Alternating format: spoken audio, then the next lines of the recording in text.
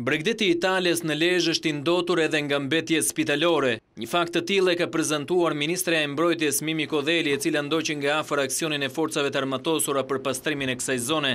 Sipas zonjës Kodheli, ky është një shqetësim serioz, pasi rrezikon jo vetëm mjedisin, por edhe shëndetin e qytetarëve.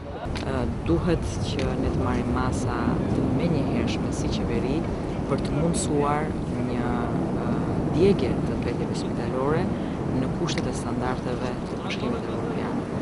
Krahas institucioneve publike dhe arsimore, për pastrimin e territorit të qarkut Lezhë janë angazhuar mbi pesëqind forca të ushtrisë, të cilat po veprojnë kryesisht në zonat më problematike për ndotjet.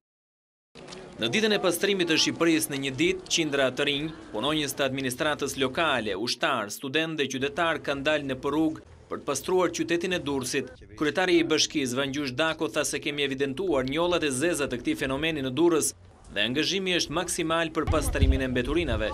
Padyshim që mjedisi është një nga prioritetet e punës së Bashkisë Durrësit. dhe ne jemi të angazhuar për zgjidhur këtë problem kaq të madh që ka qyteti, pra menaxhimin e mbetjeve urbane dhe të vazhdojnë në ditët në vazhdim me iniciativat e veta, me dëshirën qytetare për të pastruar Shqipërinë. Prefekti Roland Xhelilaj shtoi se në të gjithë qarkun janë marrë masa për pastrimin e mbetjeve urbane që shkaktojnë ndotje të mjedisit. Nxënësit e shkollës së mesme Gjergj Kastrioti kanë pastruar mjediset e amfiteatrit, Ndërsa, shprehen se iniciativat për pastrim do të vazhdojnë edhe më pas, duke u organizuar me njëri-tjetrin.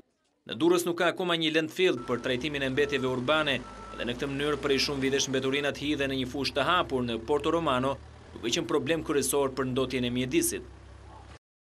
Më tepër se nëntëdhjetë ton plehra dhe inerte janë larguar ditën e sotme në gjashtë qytete dhe komuna të qarkut të Korçës, Gjatë aksionit për pastrimin e qytetit, Ky aksion për prefektin e qarkut të Korçës, Ardit Konomi, është vetëm fillimi i një pune që duhet të vazhdojë çdo ditë.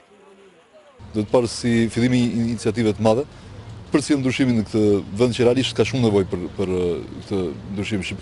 Në rang qarku në këtë ditë kanë qenë të përfshirë më shumë se tetë mijë e shtatëqind punonjës të administratës shtetërore nxënës të shkollave të mesme, por dhe qytetarë të qarkut të Korçës. Korça në veçanti njihet si qyteti i pastërtisë. Por, fakti se në periferi të këtij qytetit sot ka patur shumë mbeturina dhe inerte tregon se jo gjithçka shkon mirë.